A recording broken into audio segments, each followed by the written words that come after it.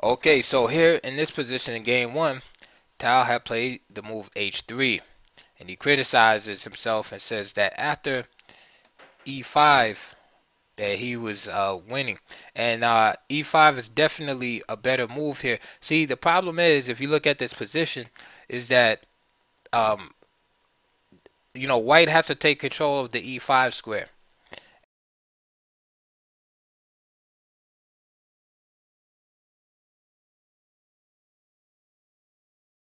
Played uh, King f6, and now after uh, King f4, Korchnoi just played e5, and um, now Tal still has chances, but he made some mistakes later on. Now, let me just show you. Here's Tal's basic idea was after e5, f6, and now h4. Now king f4. And now basically he's looking forward to some type of zugzwang position for Korchnoi to enter in. And now here, after a takes b5, then Tal has a chance to create a pass pawn now, as you can see on the a file. Now g4, f takes e5, king takes e5, h takes g4, f takes, f takes, and now king goes back. And the decisive um, victory is going to come either from the h pawn or the a pawn.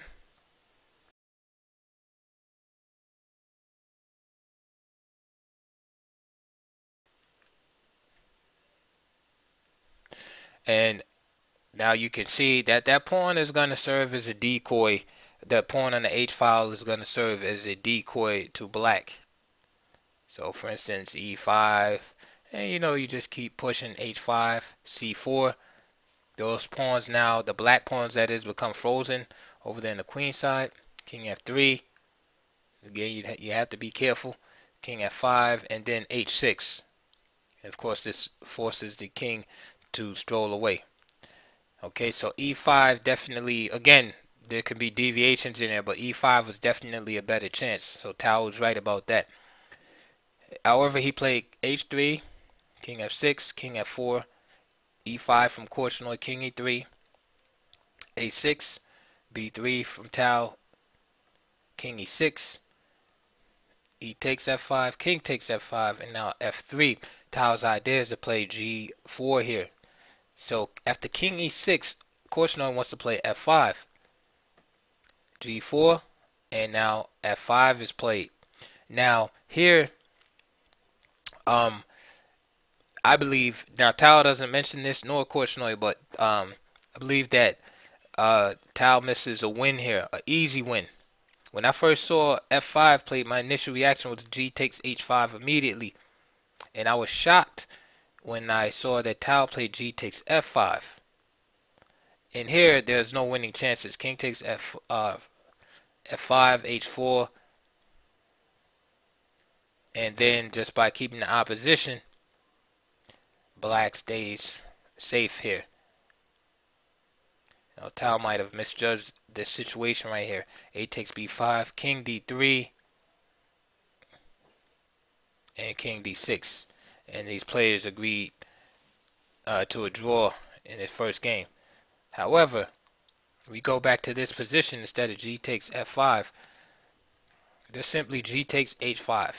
And there's no way black can defend. I'm not going to go through all the lines, but let's just say, for instance, a5.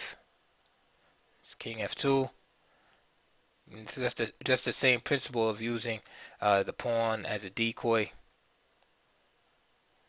H pawn as in the uh, analogous variation I showed you earlier with e5. Eventually, the black king must be drawn to the h file to try to stop the advance of those pawns.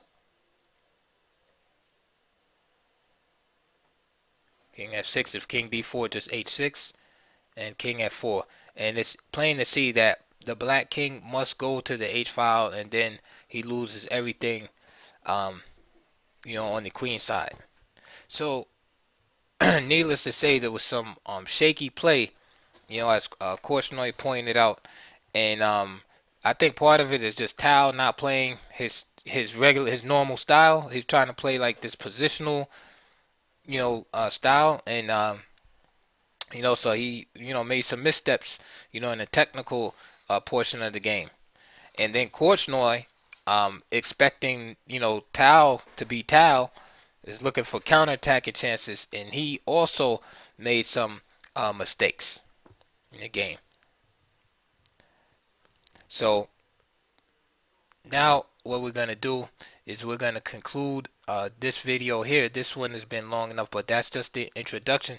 So game one, uh, we have a draw, and then um, we're going to pick up on the um, uh, the first decisive game in our next video.